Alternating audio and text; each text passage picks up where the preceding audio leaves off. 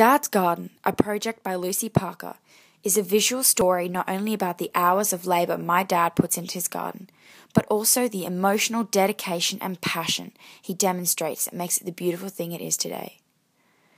The intended viewing audience is those who also have dads with hobbies or pastimes, so they can either relate to what my dad does or maybe even develop a hobby of their own one day.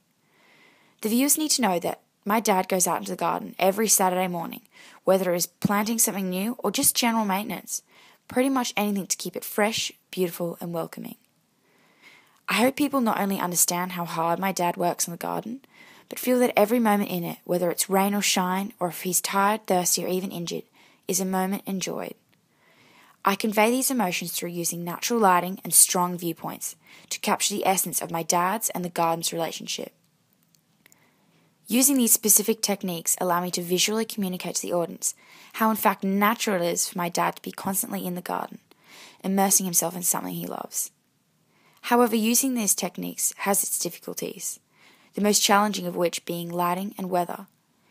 As I was shooting outside, I had to wait for certain times of the day to get the lighting that best suited my assignment, and it also proved difficult to take photos if it was rainy or overcast.